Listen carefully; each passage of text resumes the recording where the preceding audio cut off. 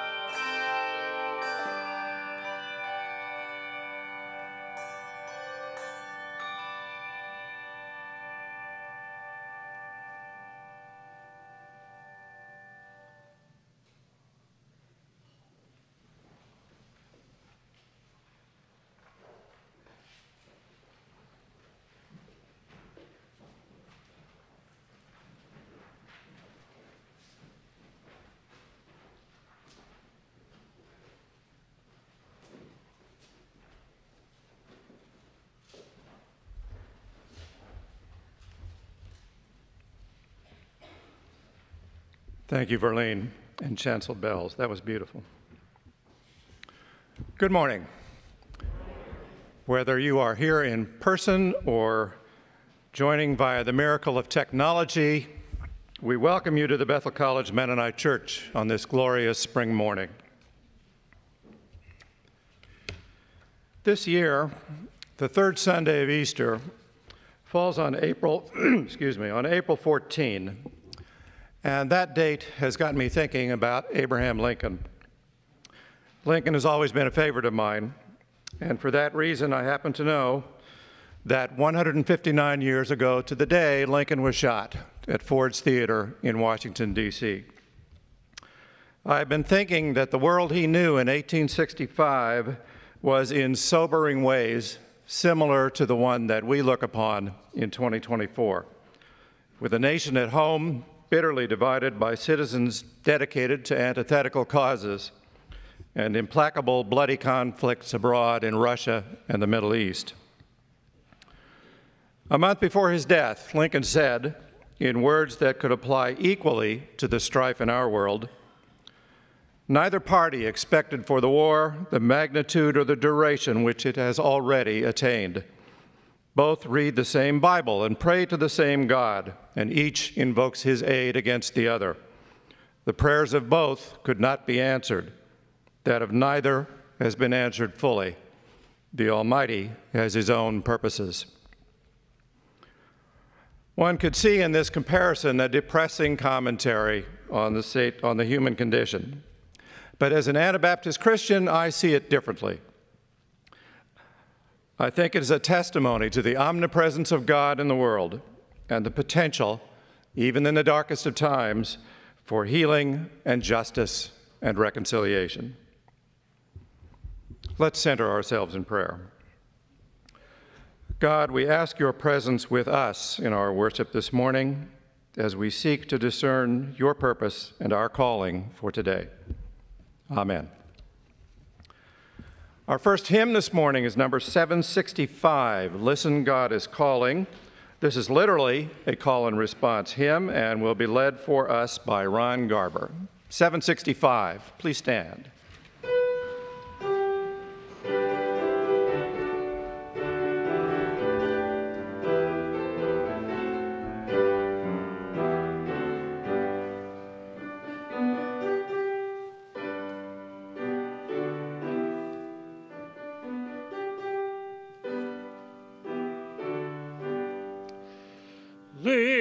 Listen, listen, God is calling through the word inviting, offering forgiveness, comfort, and joy. Jesus tells his people, share the good news that he came to save us and sets us free. Listen, listen, God is calling through the word inviting, offering forgiveness, comfort, and joy. Let none be forgotten throughout the world. In the triune name of God, go and baptize. Listen, listen, God is calling through the word inviting, offering forgiveness, comfort. Help us to be faithful, standing steadfast, walking in your precepts, led by your word. Listen, listen, listen, God is calling through the word inviting, offering forgiveness, comfort, and joy.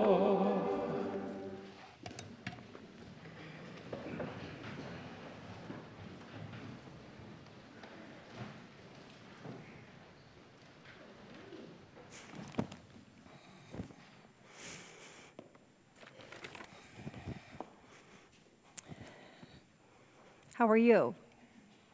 Good? Awesome. Good morning, Emma. Good morning, Ellie and Gabby and Jake. Awesome. Well, it is so good to see all of you this morning. Got Meals on Heels today?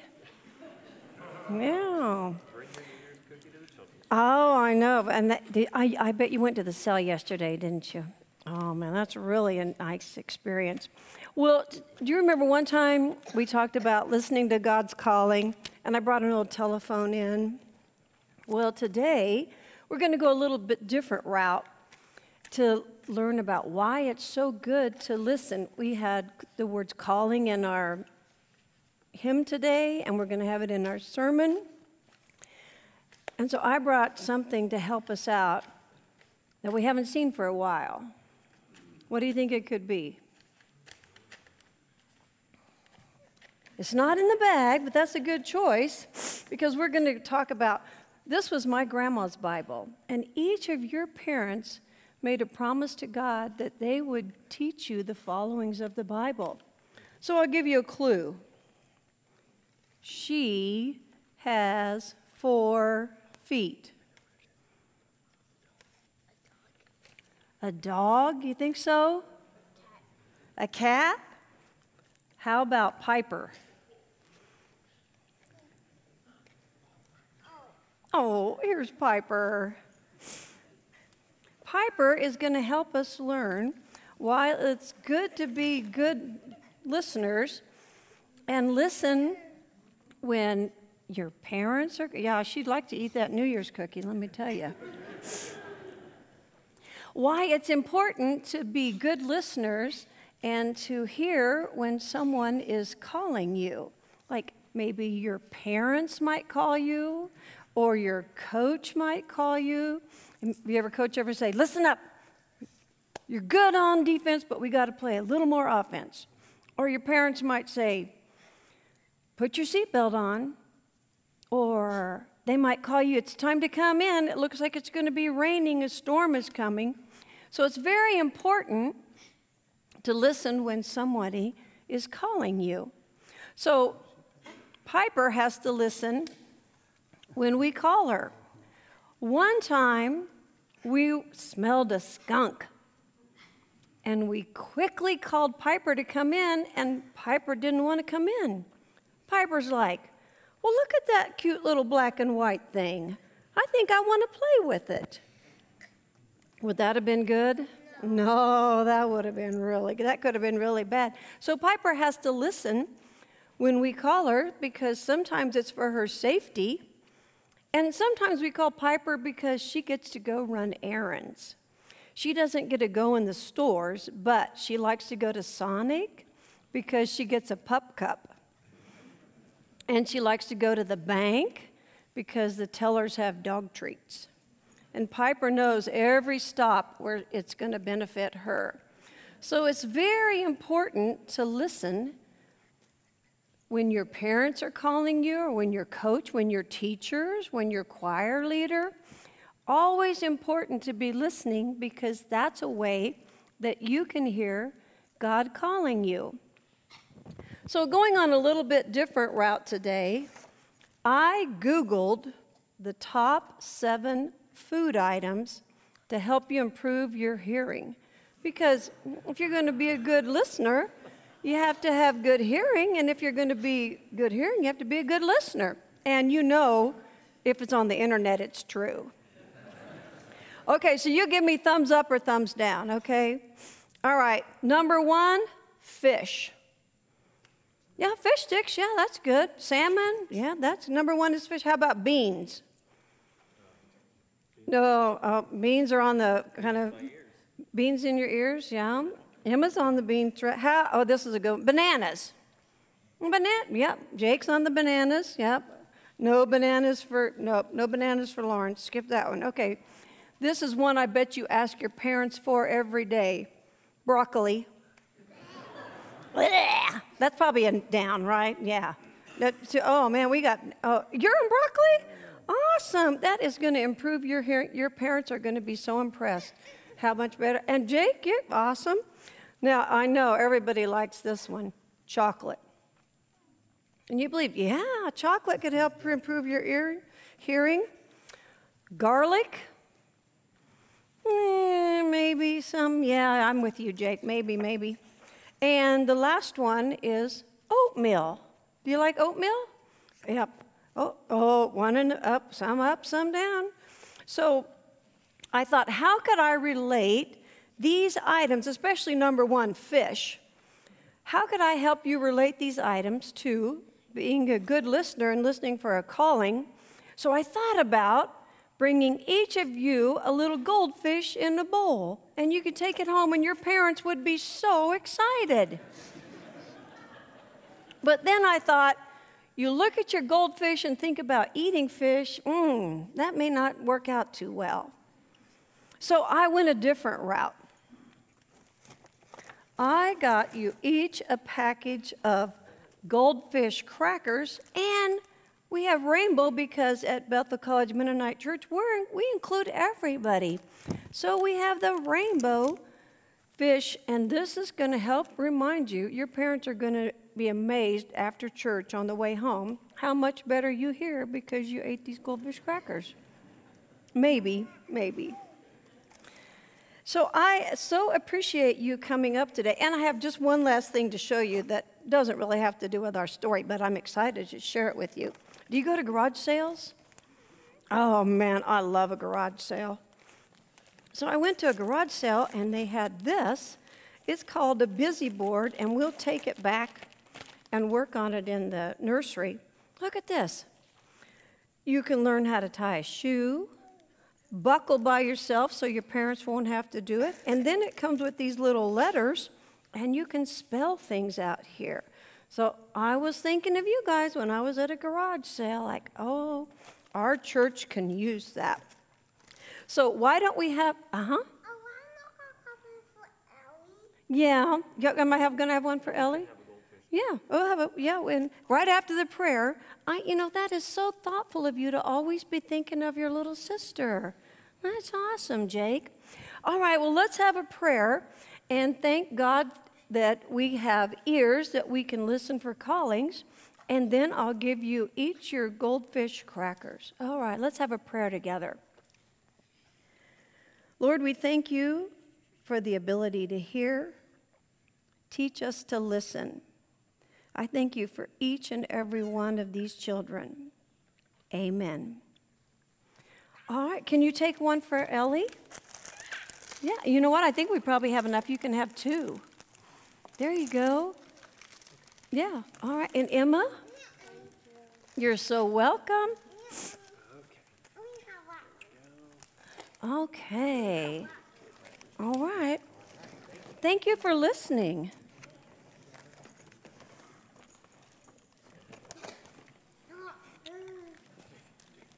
I tell you what, you eat coming and going, don't you? You got it figured out.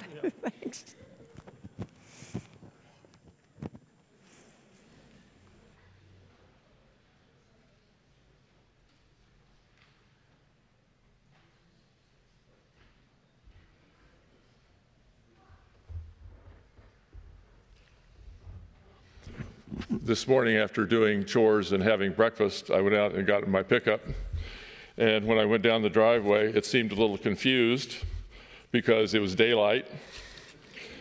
And I wanted to go right instead of left.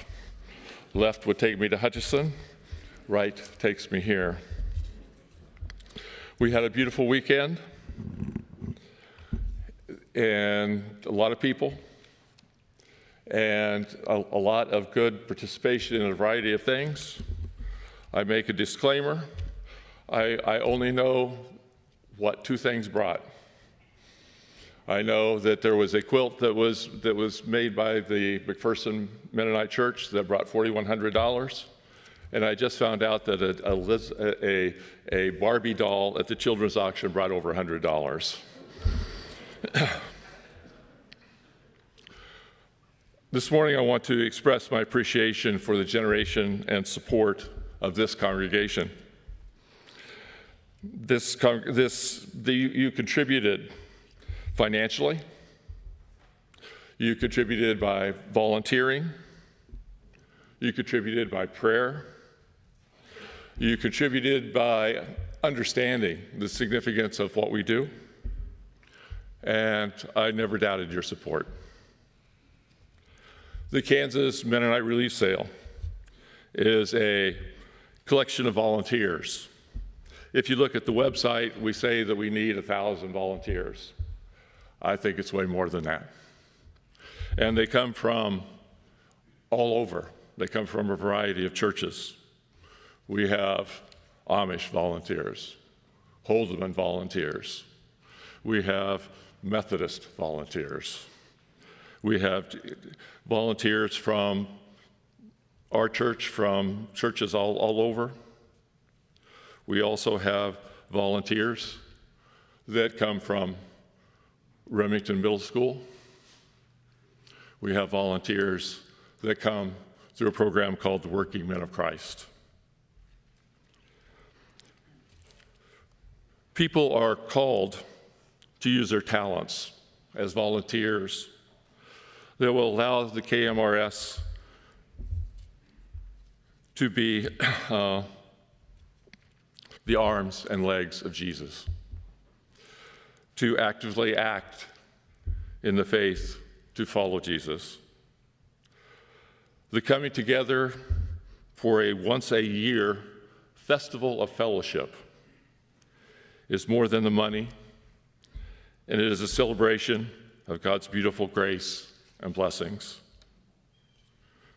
And we celebrate and utilize those blessings to raise funds to support the work of the Mennonite Central Committee. After months of planning, praying, and preparing, the Kansas Mennonite Sale was able to raise, with the help of this congregation, a multitude of sponsors, a multitude of uh, people who came to the sale, a preliminary amount of $510,000.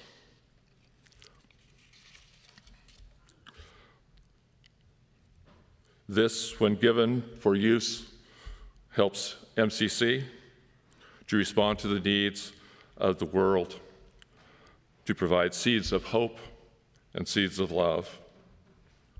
I thank each and every one of you for your support of the Kansas Mennonite Relief Sale, MCC, and for each other. During the sale, like the previous nine that I have had the privilege of leading, has been a bounty of blessings. And to this I say, Yes, Lord, and Amen.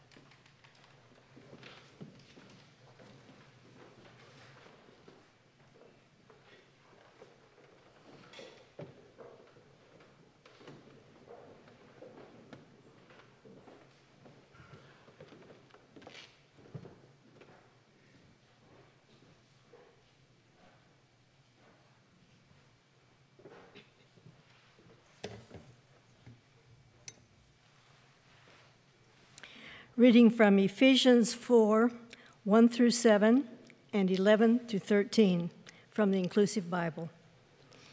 Therefore, I, Paul, a prisoner in the name of our Redeemer, plead with you to walk in a manner worthy of the calling to which you have been called, with all humility and gentleness, with patience, bearing with one another in love, making every effort to maintain the unity of the Spirit in the bond of peace. There is one body and one Spirit, just as you were called into one hope when you were called. There is one Savior, one faith, one baptism, one God and Creator of all, who is over all, works through all, and is within all. But each of us has received God's grace in the measure in which Christ has bestowed it. To some, the gift they were given is that they should be apostles, to some, prophets, to some, evangelists, to some, pastors and teachers. These gifts were given to equip fully the holy ones for the work of service and to build up the body of Christ until we all attain unity in our faith and in our knowledge of the only begotten of God until we become mature, attaining to the whole measure of the fullness of Christ.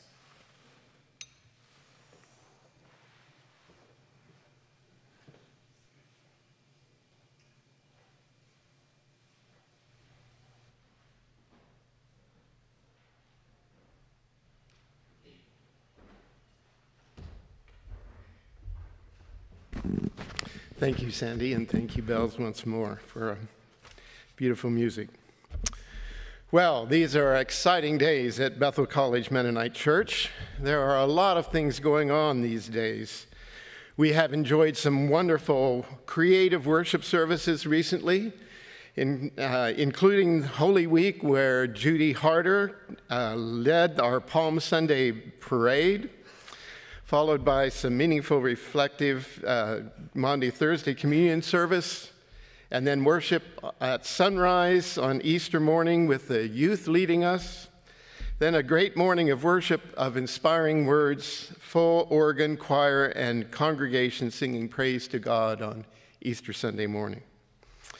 And as uh, Jim has already said, this weekend many of us were involved with the Kansas Relief Sale, which is always a great event with Jim Robb leading the way for many other leaders and volunteers and contributors and attendees from this congregation and many others. And of course, there are many, many other things that I could mention that are going on, one time events, as well as many ongoing projects and ministries. I noticed that there was the annual meeting this week of the Community Play School. Uh, held this past week, a ministry that's been going on, I forgot to check, 40 years, more than 40 years, something like that. Cont Say? 58. Thank you, Jeanette. Uh, that's, a marvelous thing to be able to sustain a ministry like that for, for so long and continuing to provide, of course, uh, so valuable uh, of an education and, and a ministry for children in our community. These, of course, are also historic days for BCMC, days that will go down in history of this church as important milestones on our in our congregational story. Next Sunday, as part of our annual Creation Care Sunday, we will celebrate the approval of a major investment in renewable energy, our solar energy project. A major investment in time and careful planning, as well as considerable financial resources, which will result in a smaller carbon footprint as well as economic savings for our congregation for many years. We'll get an update next Sunday about that project for those, those who have led the way uh, uh, these, these last months. And of course, on the first weekend in May, we will meet a candidate recommended by our search committee and church board to be one of our co pastors here at BCMC. That will be a weekend of getting acquainted and discerning together whether God might be calling this congregation to an extend and a call to Joanna Harader to join us in our ministry here. and a time for Joanna to discern whether that call resonates with what she believes God is calling her to be doing. Now, as a pastor, I have always appreciated the care most congregations exercise in calling a pastor. Our search committee has done a remarkable job thinking through the gifts, the skills, qualities, experience that our congregation would like to have in their next pastor. All of us will continue the debt discernment process when Joanna comes to visit. And as I said, Joanna will also be discerning whether she feels that God is calling her to join us in this ministry. It's good to remind ourselves at this point uh, in, in these days that the Bible is filled with stories of God calling people to particular places and tasks for particular times and situations. God called Abram and Sarah to go to a land that God would show them so that they might be a blessing to the entire world. God called Moses to lead the people of Israel out of slavery. God called many prophets, Samuel, Isaiah, Jeremiah, to speak God's word to power. And of course, God called Jesus into this world to announce the good news of the gospel and to demonstrate what the kingdom of God might look like in our world. Jesus, in turn, called disciples Peter and Andrew, James and John, Mary and Martha, Paul, and many others to follow him and join in kingdom work, to be witnesses to God's will and ways in this world. Mennonites, along with many Christians, believe that in fact God calls every Christian to be a witness to God's will and ways in our world, not just clergy people. And God gives every Christian a unique charisma a particular combination of gifts and experiences to contribute to the community of believers and to bless the world, just as Abram and Sarah were called, called to do. The Apostle Paul tells us in 1 Corinthians 12 to each Christian is given a manifestation of the Spirit for the common good. In fact, the members of the body that might seem to be weaker are the ones that are, in fact, indispensable. Now, these convictions about call and gifts, along with the great appreciation I have for the attention congregations give to the process of calling a pastor, inspire me to wish that every Christian might have the same care and attention given to discerning their call and their gifts for ministry, their particular place in the body of Christ. a discernment process not just for clergy people, but for all Christians. We Mennonites, along with many other Christians, believe that the priesthood of all believers. We believe every Christian is gifted to serve in one way or another, and so become a minister of the gospel. Now, for some Christians, discovering one's gifts for ministry can be relatively easy. Gifted musicians, artists of all kinds, people with special skills, and abilities often just stand out. But knowing one's gifts does not always mean knowing what one's calling is. People who have multiple gifts have to decide which gifts they are called to exercise at a particular time and situation. Should somebody sing in the choir or volunteer for Circles of Hope? Should they join the Inclusion Task Force or reach out to Bethel College students or join Mennonite Action in confronting national leaders with the need for a ceasefire in Gaza, or address some other injustice that few people even know needs to be addressed. Gifted people soon realize that there are many more worthy activities and causes than one person can possibly be involved in. We might think that, well, we should then address the most basic of human needs or those worst injustices. But who's to say what the most basic needs are or the worst injustices? Some would say, well, food first. But what if food only prolongs a mi miserable life? We might say, well, so housing first. But to have a house, you have to have a job. So, well, then jobs first. But then you need skills to hold a job. So it's education first. So, how do we decide where to start in a world of need? There are people, on the other hand, who may not be sure that they have gifts to contribute the poor, those with disabilities, those who are older and limited in energy or, mobility, What can they possibly contribute? What is God calling them to do? We forget that the Christian life is a journey in two directions simultaneously a journey inward and a journey outward. The journey outward is where we are co creators with God of beautiful art, where we serve the needs and the needy of the world. But there are also is the journey inward, where we find that human beings do not live by bread alone, but by the word of God which nourishes us, by prayer, by words of affirmation that we are loved and valued beyond our economic and social usefulness, by the words of neighbors or friends who encourage us and challenge us. It is at the intersection of the inward and outward journeys that we find God's call. The place God calls you is the place where your deep gladness and the world's deep hunger meet. The place God calls you is the place where your deep gladness and the world's deep hunger meet. It is the place where we find community, the place where we find God walking with us on our journey. I heard the story once of a blue collar sort of guy who started attending church, uh, who, a church that believed in helping people find God's calling in their lives. So, church people started asking them over the time, Well, what do you really enjoy doing? And after some time, he finally decided that what he'd really likes to do and feels like it's important is cutting hair. Now, what does cutting hair have to do with all of the injustices of the world that are crying out? Well, he decided that people felt good with a good haircut, helped people feel better about themselves. Okay, fine. But what does that have to do with God's call?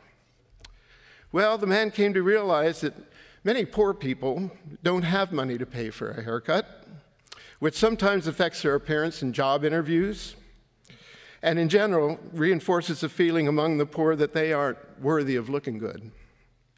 So, after receiving a grant from the church to attend barber school, the man moved to the hill country of Appalachia to provide a haircut for poor people who couldn't afford them, which led many to, to many life giving relationships being formed and auxiliary services offered, all from a simple, seemingly minor, but God given passion.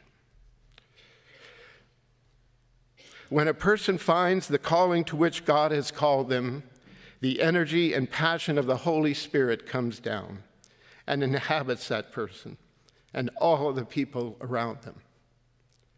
We know, it, we know from our experience here at BCMC the truth of this insight because we see it often. When Judy Harder is called to lead the worship experience, wonderful things happen. When Raylene Penner, Hinz-Penner, issues a call to seek indigenous justice, people respond, seeking ways to repair past injustices and learn from native cultures. When Hugo Boschman, Lorna Habegger Harder, and Dwight Krehbiel see that it might be possible to revive interest in a solar energy project in our community, people rally around to that project.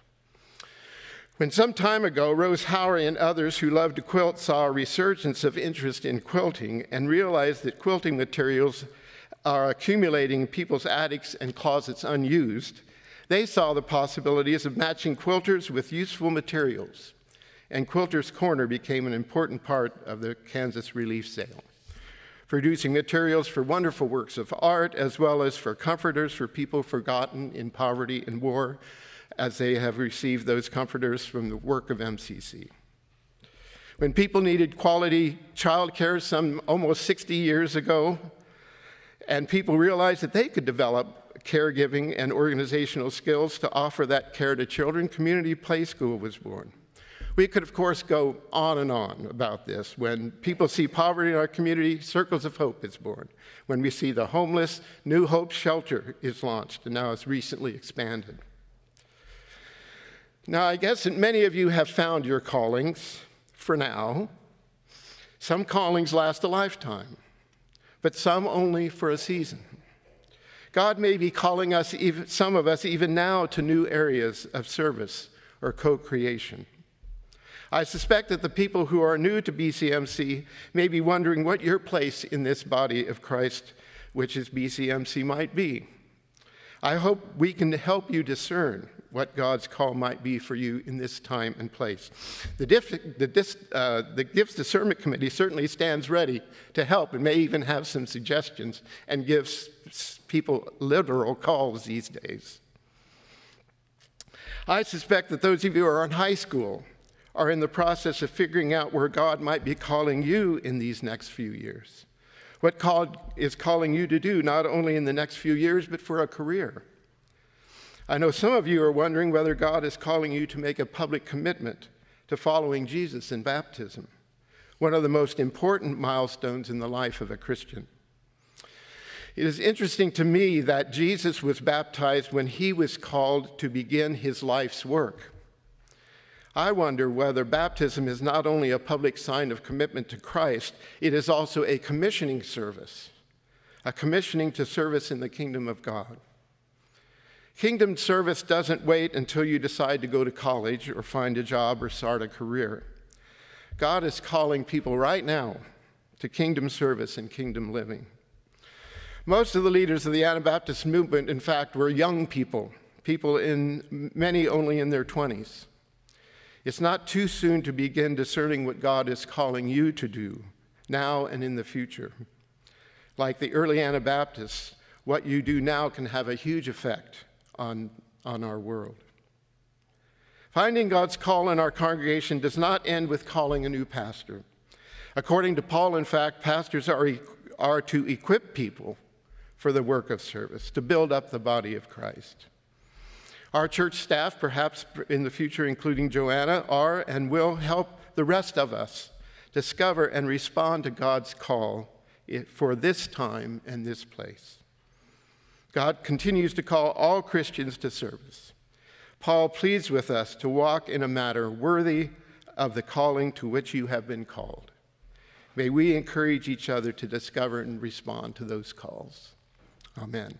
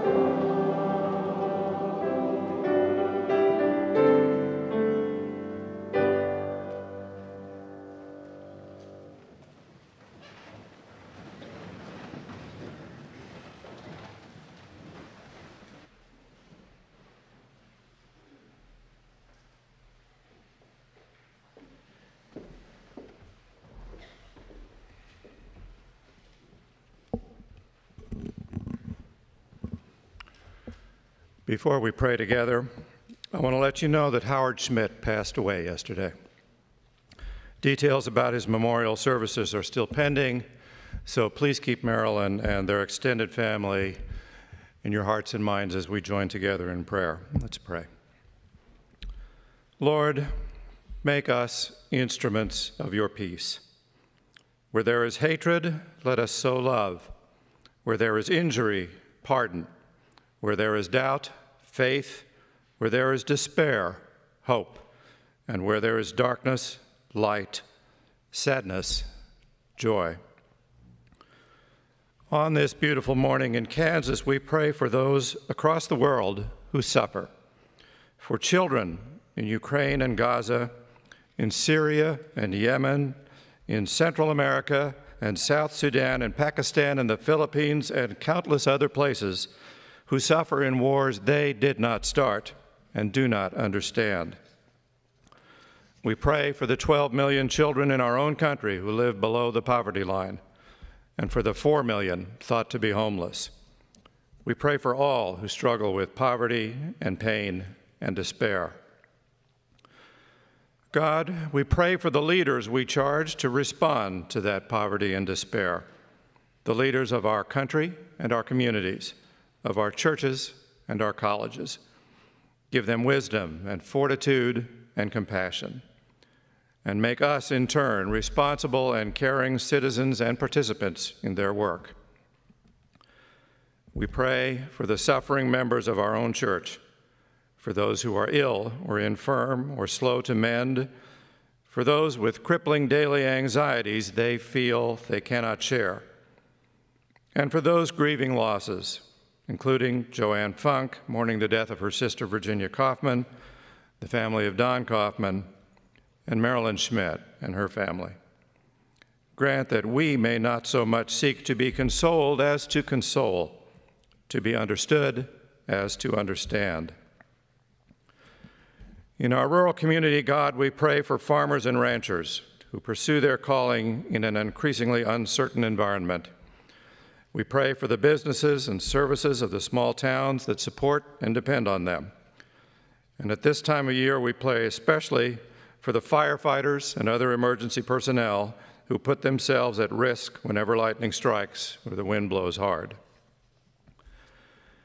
And with all, God, we thank you for the blessings and privileges that all of us enjoy through the fortunes of our birth or the efforts of our forebears, for access to health care and education, for the freedom to worship or assemble, for the security afforded to almost every aspect of our daily lives, for the resources to make a difference in the world.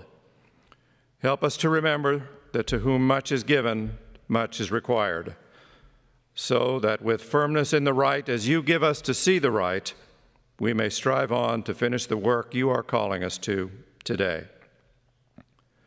And now we ask your blessing on the offerings given here this morning, and we pray all these things in Jesus' name. Amen. Our final hymn this morning is number 549, Be Thou My Vision. Please stand.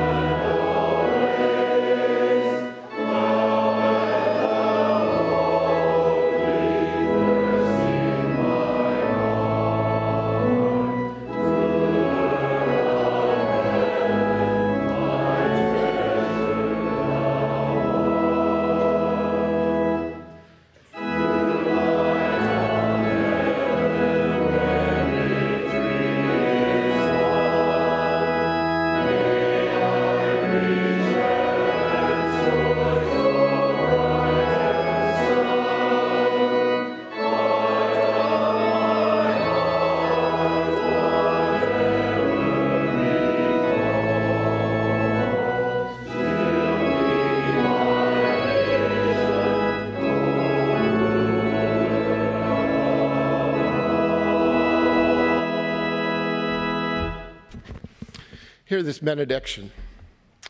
Eternal God, you call us to ventures of which we cannot see the ending, by paths yet untrodden, through perils unknown. Give us faith to go out with courage, not knowing where we go, but only that your hand is leading us and your love supporting us. Through Jesus Christ, amen.